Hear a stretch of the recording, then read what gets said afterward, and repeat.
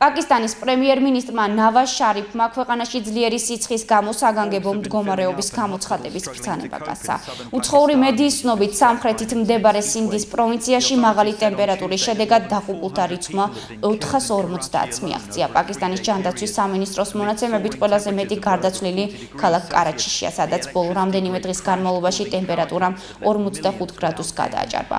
როგორც კარაჩიშის საავადმყოფოს წარმომადგენლები აცხადებენ, გარდაცვლილთა უმრავლესობა ასაკ საკოვანია. პაკისტანში 45 გრადუსზე მაღალი ტემპერატურა ბოლოს 1979 წელს დაფიქსირდა. წელს ძლიერი სიცხის შედეგად დაახლოებით 1700 ადამიანი დაიღუპა პაკისტანის მეზობელ ინდოეთშიც.